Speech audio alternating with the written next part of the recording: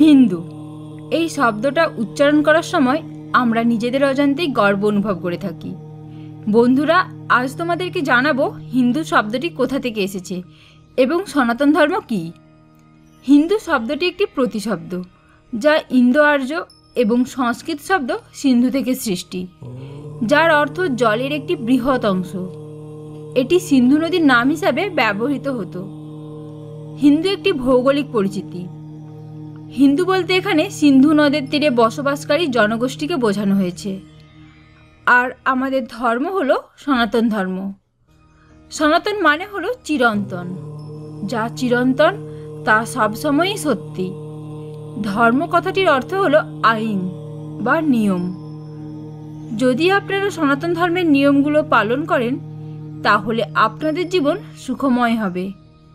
সনাতন ধর্ম শুধু হিন্দুদের বা ভারতীয় মানুষদের জন্য নয়, এটি হিন্দু, অহিন্দু, যাই হন না কেন, সনাতন ধর্ম সকলের জন্যই প্রযোজ্য। সনাতন ও মানবতা একক অভিন্ন, একে রূপান্তর করা যায়, কিন্তু ধ্বংস করা যায় না। তাই যতদিন মানুষ থাকবে, ততদিন সনাতন ধর্ম থাকবে। তাহলে আজ থেকে বন্ধুরা আরও গর্বের সাথে বলো, আমরা ভারতীয়।